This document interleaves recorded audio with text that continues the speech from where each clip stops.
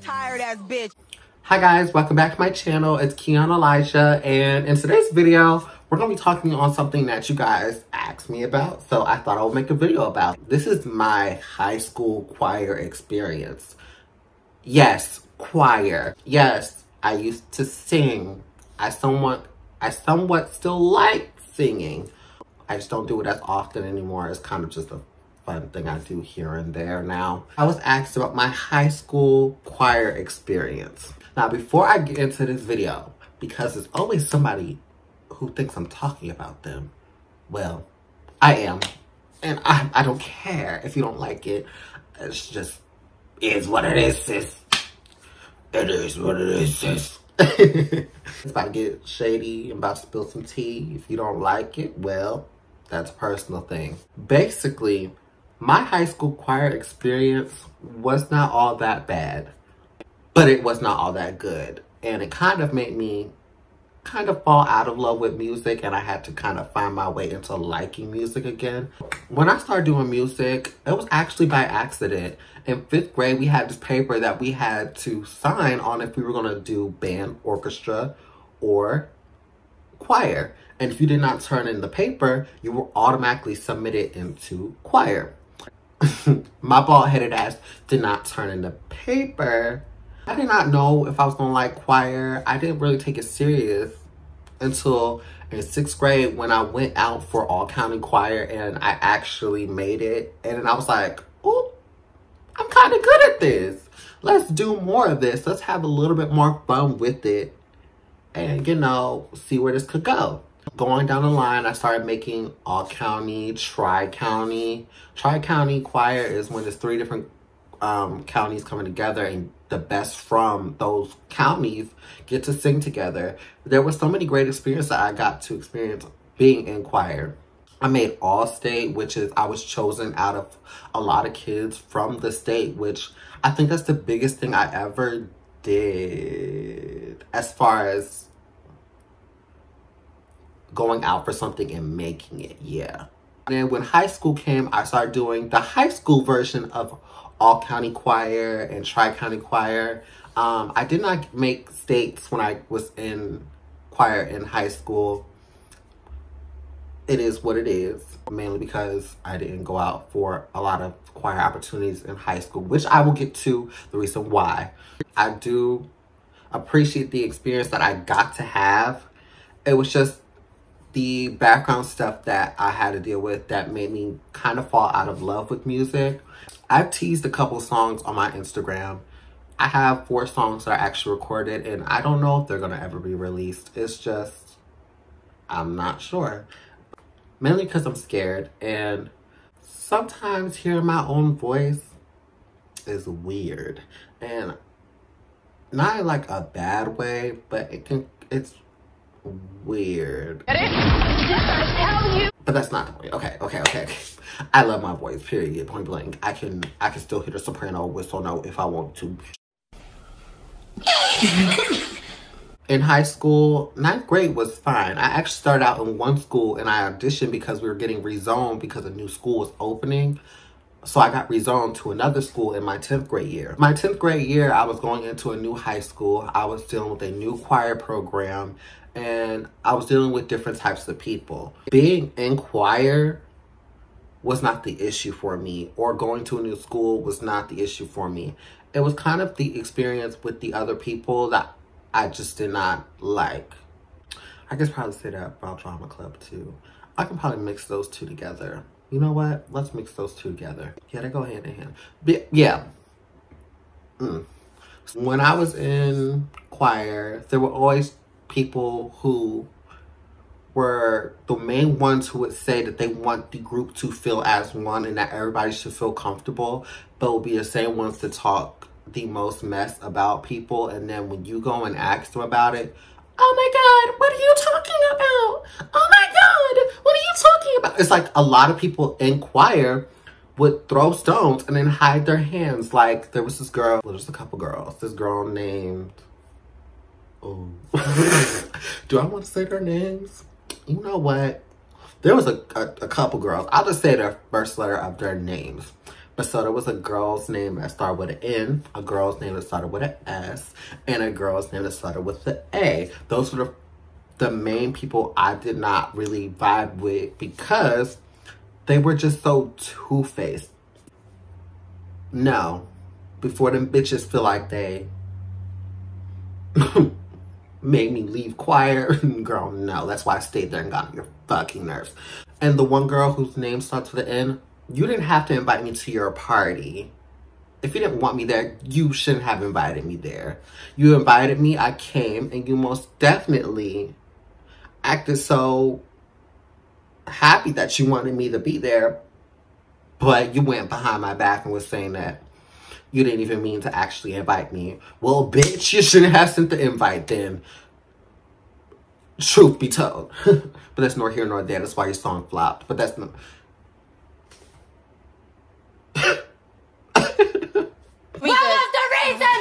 There were always so many cliques in choir, and I never was able to fit in them because always somebody who was talking bad on me. And I addressed a couple people with it, and behind everybody, they would act one way, and in front of people, they would act another way.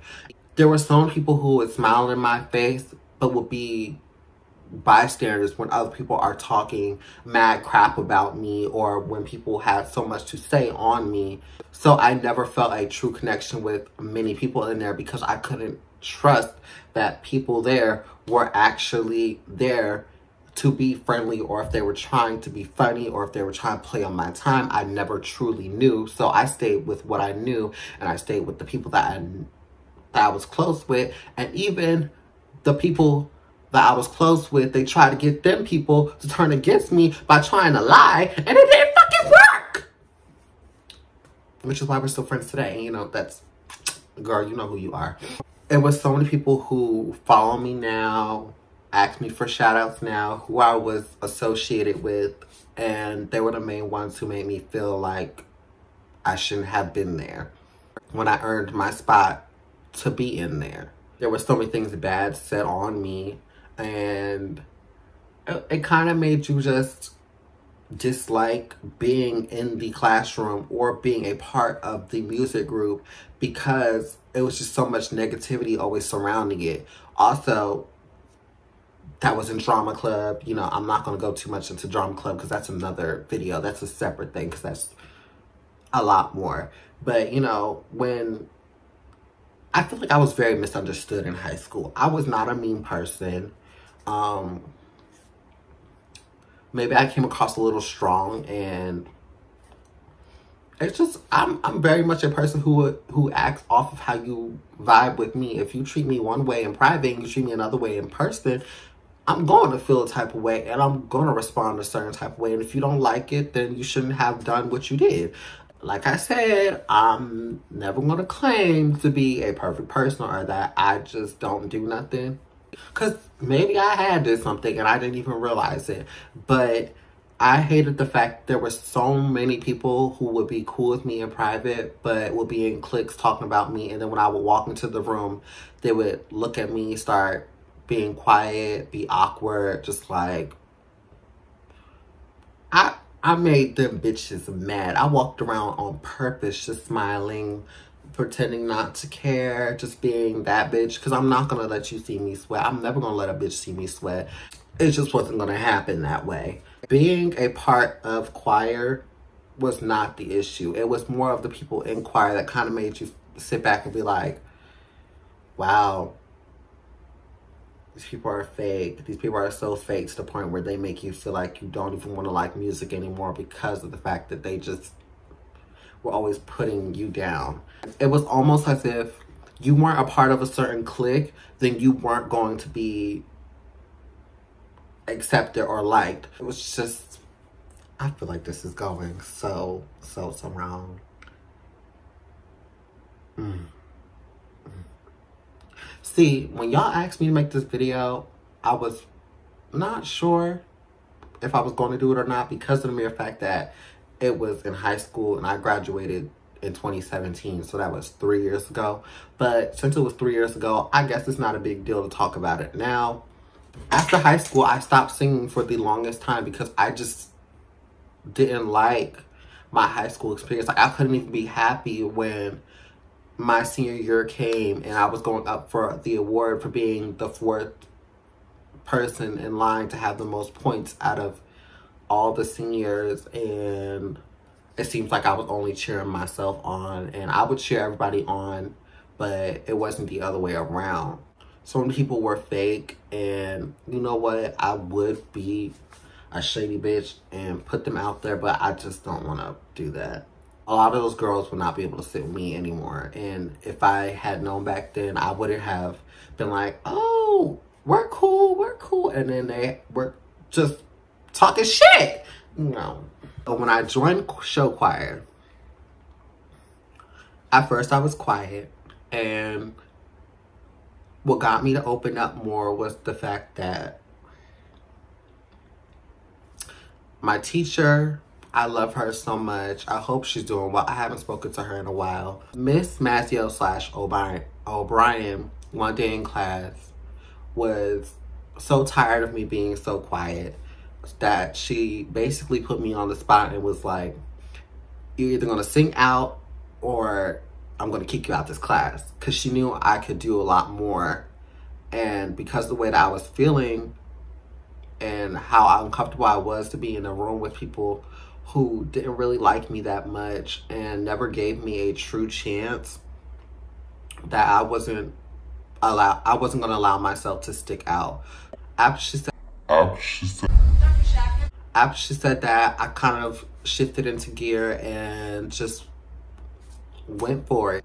It opened me up a little bit to the point where I was like one of the loudest voices in the group of show choir and I went from being so quiet to being so loud and it became to the point where like she ended up saying like I was being too loud like I had to pull back like that was crazy to me like we'd be doing group work and I'll be working with the guys and it'll be certain things that will go back and be said to make me look like I was just this rude ass person, like I was just mean, or people made it seem like I was just a, a fucked up person. And I just didn't like it. And there are some people that I would want to reconcile with and be like, hey, I never had a problem with you. Like, like I would be cool with them. But because of the circumstances, I felt like that wasn't a possibility at the time.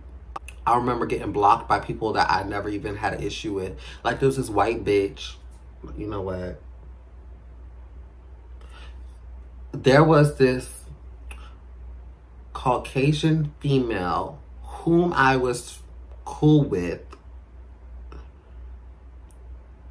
I didn't think that we had an issue but because she was trying so hard to co-sign, she moved away from me and started joining the clique and was trying to be accepted by them so badly to the point that she just blocked me, blocked my number, wouldn't speak to me, and in person would be so short with me when I was not sure what was going on. It got, it just, it hurt my feelings because a lot of times I didn't think I would notice, but like, even when I'll be in like my acting class, I'll be practicing for the showcase and I remember I was in like this private room, like it had a door, but you could hear on the other side if you were singing too loud. And I was practicing my song and I was singing too loud. And I stopped for a second and I heard them saying like all this mean stuff about me. And then as soon as I walked out there, quiet. Nothing. Like it was silent showed a lot in me acting. Like I couldn't be fully interested because people I was working with, I just couldn't respect them. Like, of course I did the show and of course I gave it my all and I did what I had to do because that's life. You're going to work with people sometimes that you just don't like or that I don't even not like them. They don't like, they didn't like me or they're trying so hard to be accepted by each other that they chose me as a Target. I have people that I'm cool with that I could get to vouch for this and I said what I said. I remember when the showcase actually came and I performed my song and I remember going backstage and that Caucasian female said something slick out of her mouth and was like, oh, it wasn't actually bad. And you see, maybe that would be a compliment to some of y'all, but she said it in a way that would be like, I was I was so expected for it to be bad. What? Like you couldn't just say, hey, that was really good. Oh, it actually wasn't bad. And that was a girl that I thought I was cool with.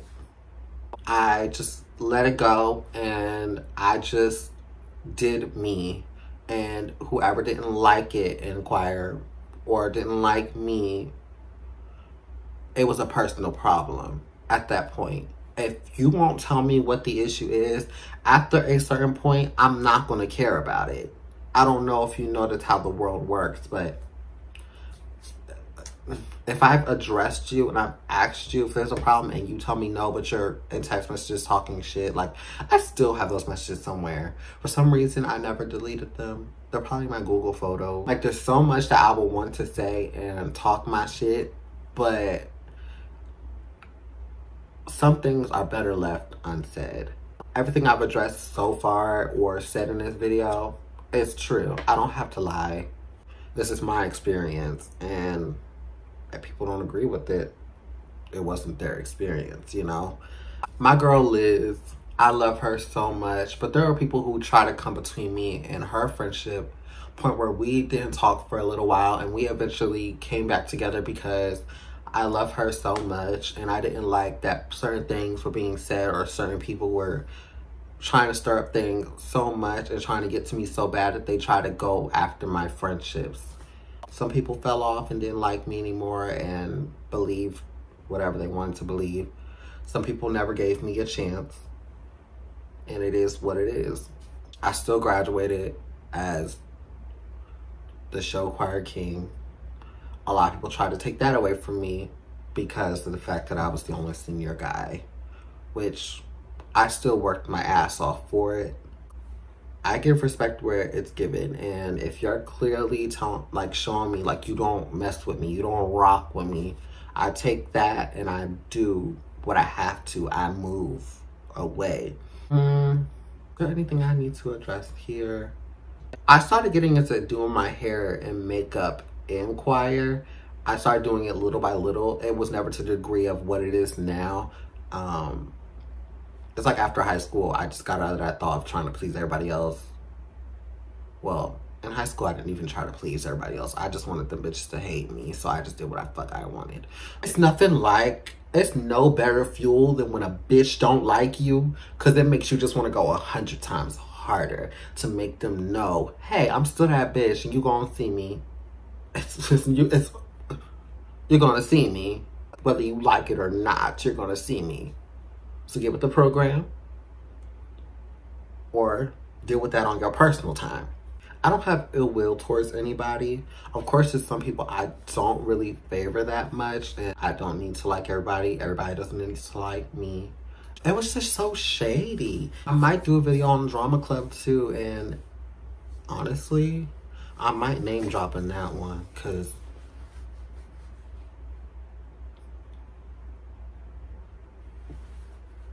Cause they got me this bent. This bent. This fucking bent, ho. I hope you guys did enjoy the video. Honestly, I did this just because it was just another subject I can talk on and I could share my experience, but also make it entertaining, but also be shady, but also spill tea, but also pop my shit, but also not start no shit, but also want to state what the shit was, but also tell my truth, but also not try to put nobody else down, but also making sure bitches knew. What the fuck? You know what? I hope you guys enjoyed the video. Bye, guys. Broke bitches so crusty, disgust me.